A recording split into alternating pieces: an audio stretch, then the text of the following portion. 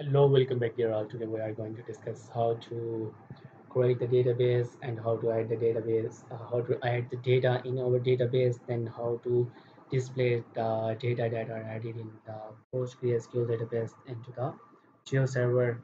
So we are going to also study how to connect your uh, database uh, with your Geo server and how to publish data on Geo server. So just you need to first create your database. Simply click here on uh, database. You can also create a database uh, by using a create DB query. So I'm going to click here and then click on database button. Then here I'm going to name it NYC12. Okay, then save it if you are going to adding any special data for this purpose you must have to add the postgres extension for adding the extension click here and then click on create then extension button. Uh, okay search here postgis okay this one is postgis click on the save button. And uh, drag this menu and check if your extension is added here or not. If you did not uh, extension appears you just need to click on refresh button. Okay you can see that there is two extensions postgis is added here. Okay the next step is that uh, adding the data in our database nyc12 then click on the query tool the short key as the alt shift q. Okay.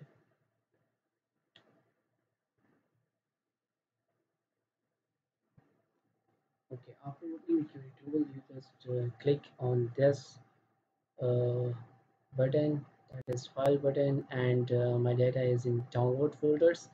And once the buildings data then select this data and open it.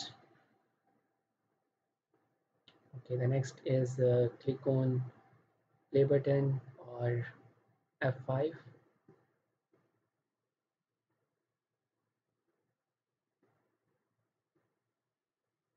okay the query is successfully run in two seconds it's mean that your data is added in your database. You can also scroll down it.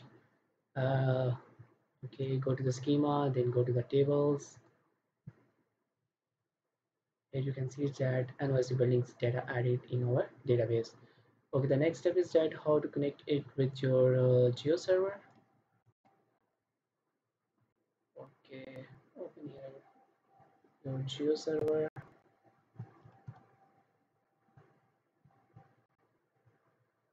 geo server portal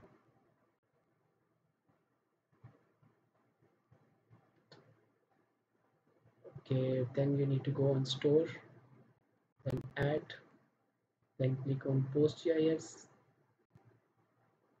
uh, this is the workspace that is a default. Here you need to input the name and it's buildings one two and description buildings of new york's one two okay database uh, name is nyc12 and this is the username that is password. Then you need to click on save button. Okay nyc buildings are appear here then click on publish button. Okay fulfill all these parameters.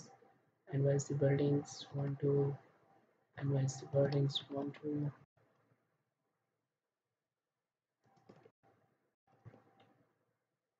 okay if you want to add any keyword then type here new york buildings and add it. Then uh, compute data from can compute compute from data compute from native bounds then click on save. Okay. Then uh, go to the layer preview here you type nyc underscore buildings one.